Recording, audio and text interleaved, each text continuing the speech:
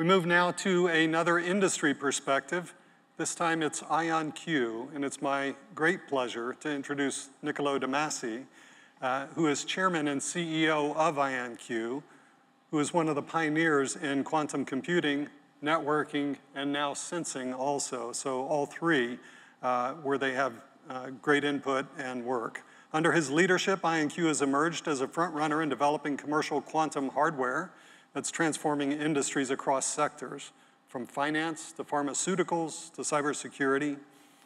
And with a background in both technology and business, Niccolo brings a unique perspective on how quantum computing is not just a scientific breakthrough, but also a powerful tool for creating new business opportunities and solving complex real-world problems. His leadership at IonQ is shaping the future of quantum computing. It's driving integration into the marketplace, and it's unlocking value for industries worldwide. Niccolo also received his BA and his Master's of Science degrees in physics from Cambridge University, where he, hear this, he specialized in quantum mechanics and next generation electron beam lithography. Um, while known for his business acumen and leadership, we're doubly pleased to see his heritage in quantum mechanics, uh, providing a strong uh, foundation for his business success. Please join me in welcoming Niccolo de Masi.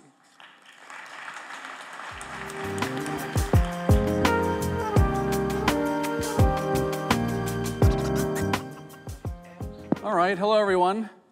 All hear me okay? I have apparently 17 minutes and 45 seconds, and I'm going to use that time to, uh, to give us all a little bit of perspective on where IonQ has come from, where we are, and where we're going. I'm not going to read the cautionary notes. You guys could have read them at our Analyst Day on Friday if you're really into it. Um, first of all, let me start with a big thank you to all of you as our customers and partners who have trusted us not just recently, but for many years, and the better part of a decade, since our machines first powered on. Uh, we have our friends, University of Maryland, of course, hosting us uh, and the Governor Moore. We have our friends uh, from Korea and KISTI and, uh, and Megazone. We have friends from NVIDIA who we have done groundbreaking work with this year on things like 20x speedups in partnership with Amazon Web Services and AstraZeneca.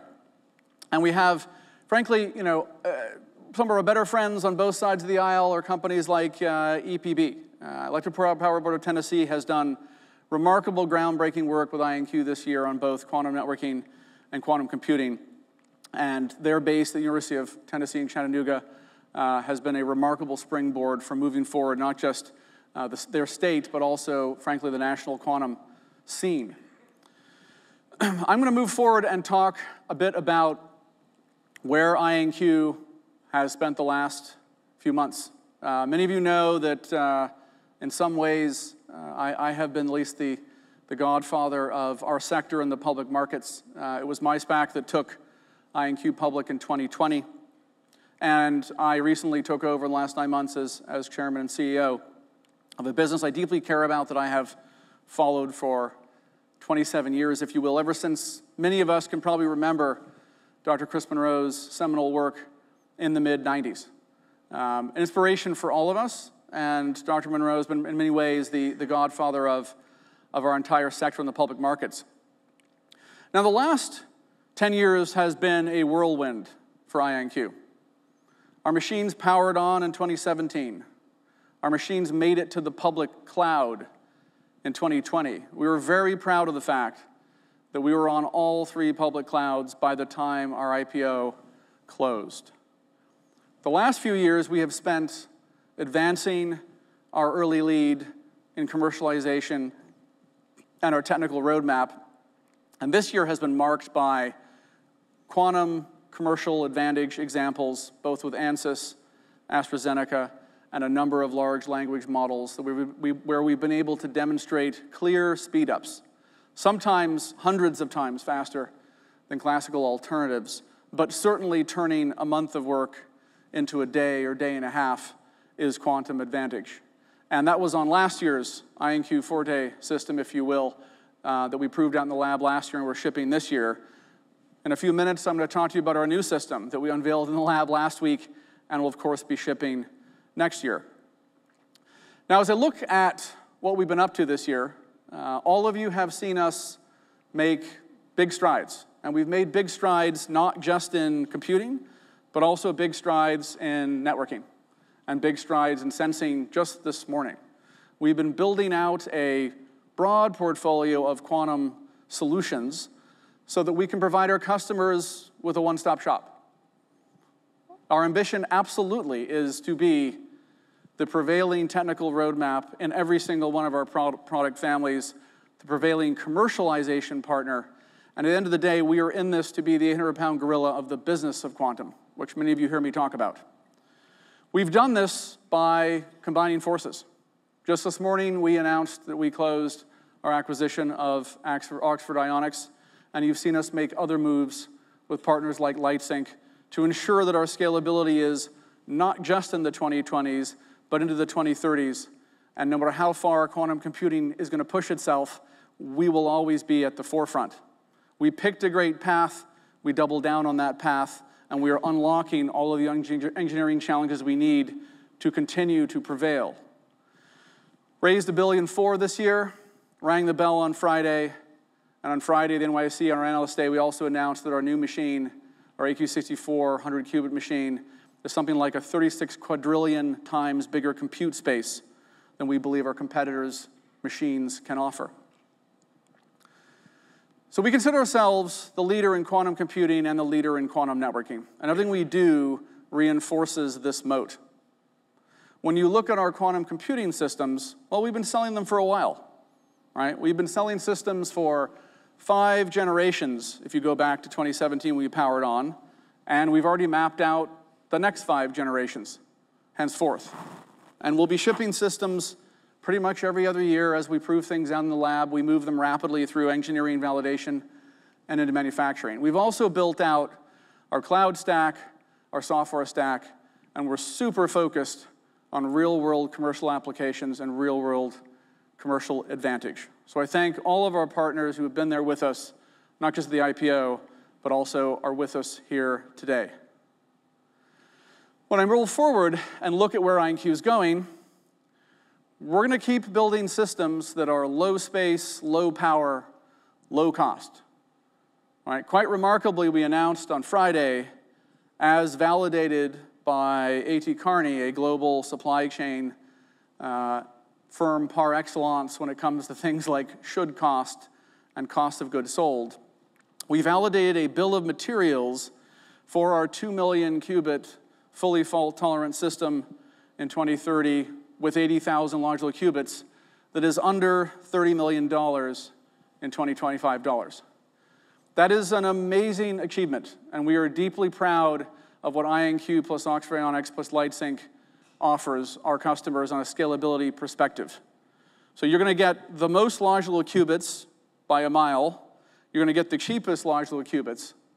And that is what it takes in our mind to make quantum computing a mass market reality. Computing revolutions are always about unit economics, miniaturization, and of course, increasing power. And what you get with the IonQ ecosystem is exactly that. Most qubits, lowest power, lowest space. I talked a bit about our AQ64 system. We'll be shipping this. The benchmarks are astonishing. I don't think I've seen a 36 quadrillion number before uh, in any corporate presentation uh, in my 14 public companies that I've been chairman or CEO, lead director of. We are immensely proud of this, and I congratulate our entire team for their tireless work in delivering this five months early.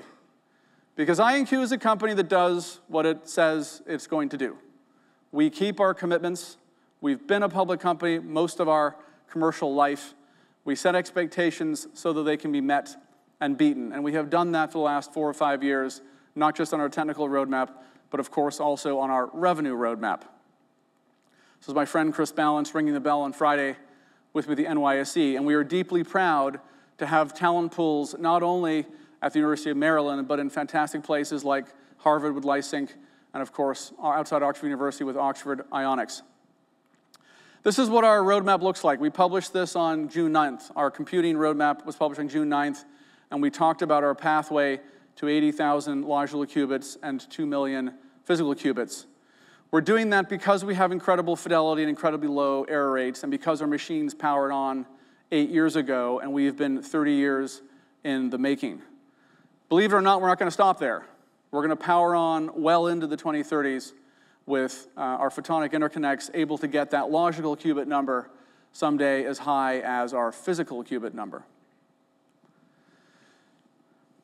What does this look like from a competitive landscape perspective? Well, some of you probably have seen this since June 9th on our investor website. We believe we're already in the era of early commercial advantage. And IBM's position, Quantinuum's position, IonQ's position that's been publicly stated looks something like this when you scroll forward. We believe that we will be the first player in the era of broad commercial advantage, and we will have years to build our customer ecosystem delivering broad quantum advantage. Because our machines turned on eight years ago, we've been working on applications a long time. And we announced some of those partnerships that are not classified.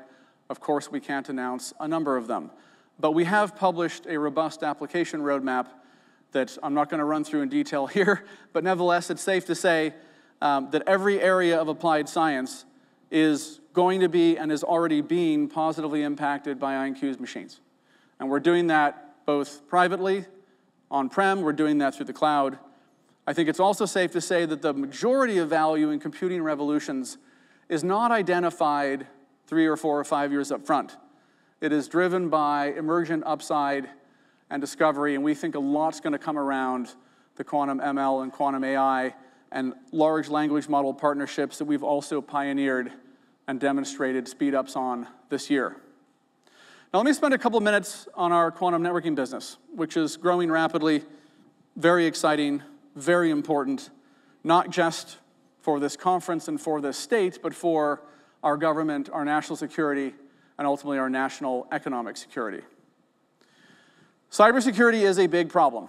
I think everybody accepts that cybersecurity and getting hacked is something that we we're concerned about as individuals and we're concerned about as corporate leaders, as business owners, and of course, as our federal government. Today, we are unfortunately vulnerable to nation state actors who are capturing now, downloading now to decrypt later, as the expression goes. And we're also just vulnerable to classical cybersecurity threats. IonQ is working feverishly to address this. And we have made sizable investments in quantum key distribution through acquisitions like ID Quantique and our friends in Geneva who are here today, and doubling down on that both organically and up into space with moves like our acquisition of Capella. Capella gives IonQ the capability to build not only the world's first QKD network in space, but the first that is connected to the ground.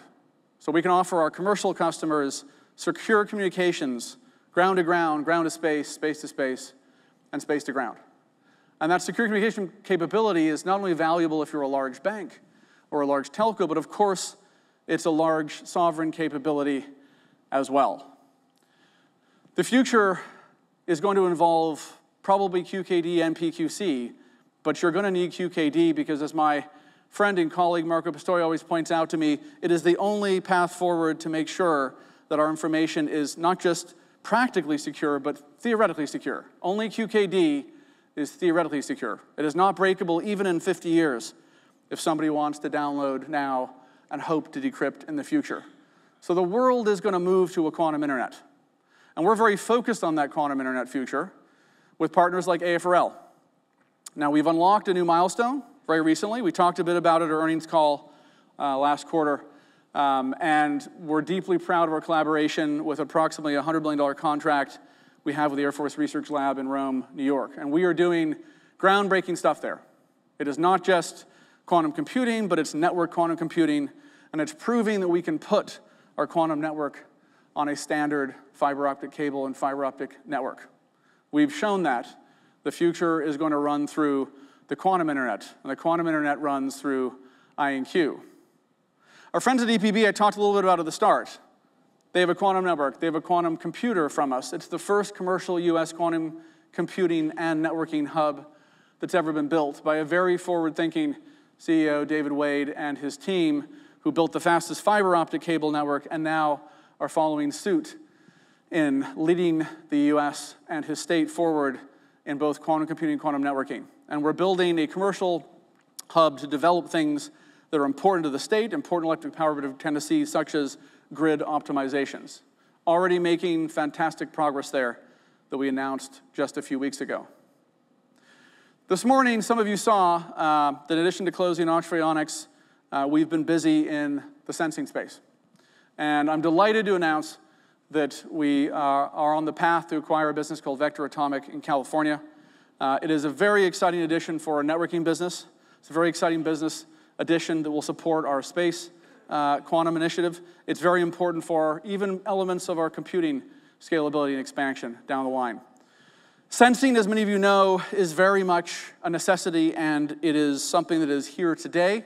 Everybody cares about positioning, navigation, and time, not just in our three letter agencies in the US and in the Five Eyes and in NATO, but they care about the fact that you can do things like discover rare earths and discover new oil fields, and ultimately, most of modern civilization breaks down if you don't have an unhackable GPS when a conflict starts. So IonQ is very proud of the fact that with the addition of Vector Atomics, we now have the most complete quantum platform in the world. We have over 1,000 patents, about 1,100. We've got a similar number of employees around the world at the rate that we're growing. Vector Atomics already had $200 million of government grants, a fantastic set of technology, a fantastic team, and a fantastic set of patents. And these three or four business pillars, if you will, between space and computing and networking and sensing, gives IonQ the ability to land and expand with all of our customers. And land and expand not just in the state of Maryland, not just with our federal government, but with the Five Eyes, with the EU, with NATO, and beyond. And we're deeply proud of the fact that we have so many amazing physicist entrepreneurs at this company who recognize that together we are stronger. We are going to win in our verticals. We're going to win by connecting our verticals together and offering solutions that nobody else in the world can even fathom. It is a moat that we're deeply proud of, and we're just starting to build. But these cogs are going to spin faster and faster as IonQ's momentum gets building. We're going to deliver continued quantum advantage, more powerful machines, quantum networking ubiquity, quantum sensing ubiquity. And I'm going to finish where I started today, which is by thanking all of you as our partners and customers. There are many of you in the audience that I hope someday will work with us if you haven't already. Many of you that I hope might even work at IonQ. Please come and find us. We are making a home for researchers, engineers, go to market professionals, and people that want to build the best and brightest quantum career that one can. Thanks so much for your time. Have a great rest of your conference. I will see you outside.